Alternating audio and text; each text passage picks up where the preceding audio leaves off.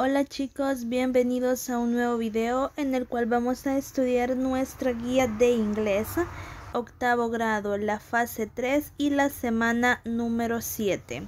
Y empezando con el desarrollo de nuestra guía tenemos el 1.1. Esta es nuestra activación. En este ejercicio exploraremos juntos y juntas tus conocimientos previos nombres de aparatos electrodomésticos, home appliance. Y dice conecta la palabra con las imágenes. Y pues acá tenemos ya cada una de las imágenes y tenemos también a un lado lo que es la lista con las palabras que tenemos que conectar con sus números. Por ejemplo, en la primera tenemos AC Unit. En este caso, esta es la imagen número 7. En el siguiente tenemos Blender. Esto es la imagen número 5. Acá tenemos la licuadora. Luego también tenemos Coffee Maker. Coffee Maker, esto es la número 11. Luego de esto también encontramos Dishwasher. La imagen correcta para esta palabra sería la 13. Acá tenemos dishwasher, que es la lavadora de trastes. Así seguimos buscando y luego tenemos electric kettle. Y acá tenemos que es la número 8. Luego en el siguiente también nos pide Food Processor. En este caso acá está la imagen de Food Processor que es la número 17. Acá encontramos la 17.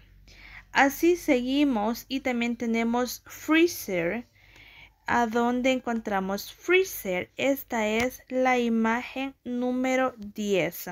Acá lo tenemos también. Luego nos dice fridge. En este caso es acá el refrigerador. También luego nos preguntan por hair dryer. Esta es la secadora del cabello. Aquí tenemos la secadora. También en la siguiente nos dice iron. Esta es la 4 porque eso es la plancha. Luego tenemos microwave oven. El microwave oven, acá es el 2, que es el microondas. Luego nos preguntan también por rice cooker. En este caso es el 9, que es la sartén para cocinar el arroz. Asimismo nos sigue diciendo sandwich maker. Vamos a ver dónde encontramos Sandwich Maker. En este caso es la imagen número 16. Seguimos y tenemos en el 6 Space Heater. Este es el 6, como les decía, acá tenemos Space Heater. Luego tenemos Toaster, que esto es el tostador. Acá tenemos en la primera imagen Toaster. Asimismo, seguimos y nos pregunta por Vacuum Cleaner. Esto acá sería el 18 porque es la aspiradora. Y por último también tenemos Washing Machine. En este caso, Washing Machine sería la número 3 que es la lavadora. Y así en ese orden queda cada uno de los utensilios del el hogar ordenados. Así continuamos con el siguiente punto que es el 1.2. En esta parte nos están dando lo que es la presentación de nuestra guía. Ahora repasaremos cómo describir la existencia de objetos que hay en un lugar. Para nuestro caso describiremos home appliances en casa. Para ello utilizaremos there is y there are. Recordemos la estructura. Vamos a repasar un poco de la estructura para poderlo poner en práctica. Acá tenemos there is y también tenemos are. Sabemos que there is es para cosas singulares y there are es cuando ya estamos hablando de dos objetos en adelante para cosas plurales. Acá tenemos positive que es positivo. Aquí tenemos en los ejemplos, there is a table, es una mesa, and there are two desks. Y tenemos there is y there are para negative, que esto es el negativo. En el ejemplo tenemos, there isn't a table. Ahí no hay una mesa. And there aren't two desks. Ahí no hay dos sillas. También tenemos el yes and not questions, que es lo que son las preguntas.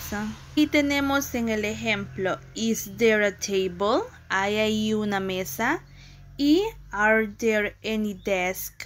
¿Hay alguna silla? Y también tenemos lo que son las short answers, que son las respuestas cortas. Para cosas que son eh, singulares decimos yes there is o no there isn't. Y para los plurales ahí decimos yes there are o también o there aren't. Seguido encontramos acá también analicemos algunos ejemplos. Acá podemos ver la siguiente imagen que nos muestran y luego nos dicen acá en los ejemplos y en las preguntas. Is there a refrigerator? Y ahí podemos ver que hay un refrigerador. La respuesta es yes, there is. En la segunda dice, is there a bed? Pregunta que si hay ahí una cama. Y como no vemos ninguna cama, tenemos no, there isn't. Luego nos dice, are there two chairs? Que si hay dos sillas. Y en nuestra respuesta acá sí es, yes, there are. Luego en la siguiente, are there four microwaves?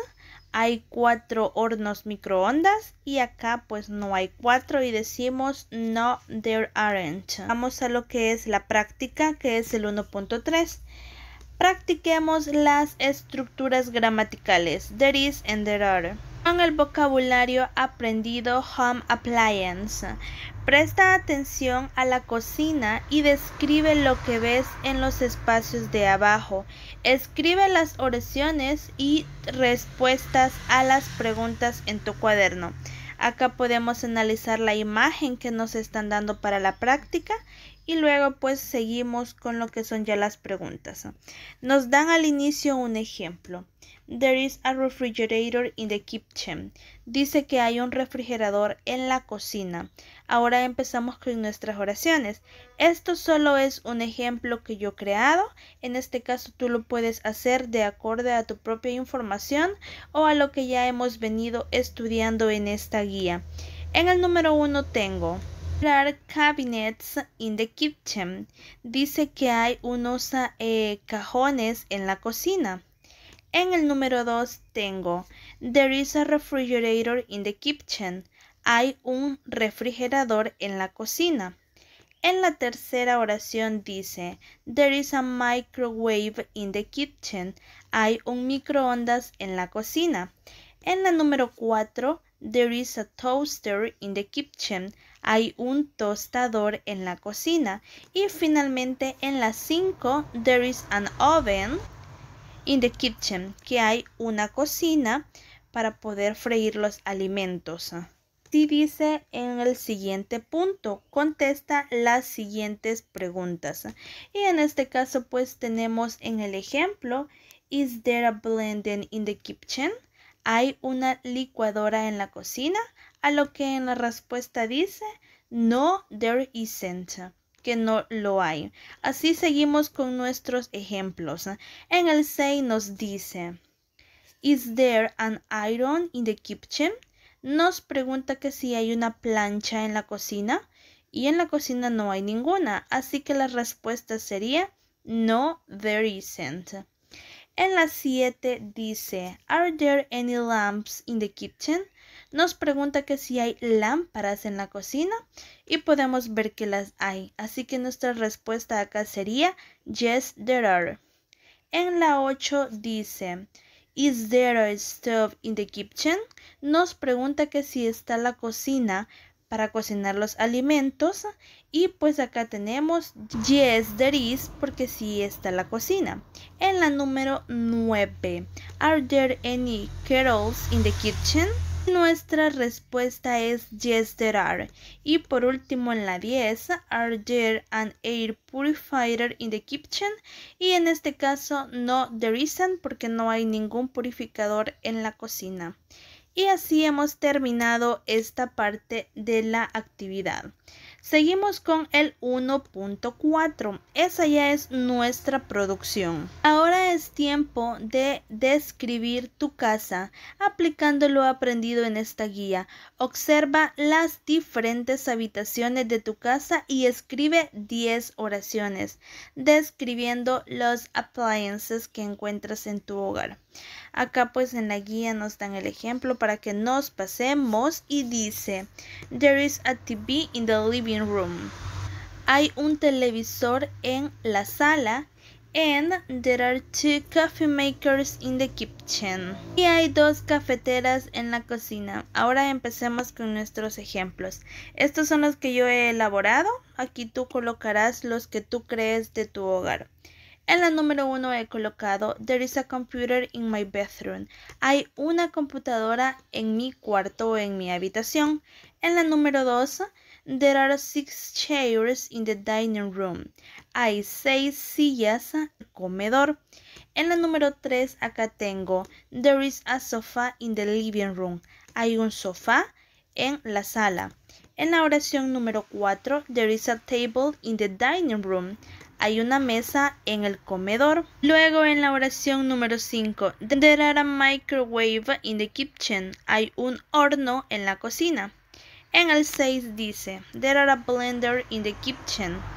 Hay una licuadora en la cocina. En la número 7 tengo, there is a DVD in the living room. Que hay un DVD en la sala. En la 8, there are two mirrors in the bathroom. Hay dos espejos en el baño. En la número 9, there is a bed in the bedroom. Hay una cama en la habitación. Y finalmente en la 10, there are two coffee makers in the kitchen. Hay dos cafeteras en la cocina. Esas han sido mis oraciones. Y ahora tú empieza a crear también las tuyas. No olviden también que al final tienen que hacer lo que es la self-assessment o la autoevaluación de esta guía.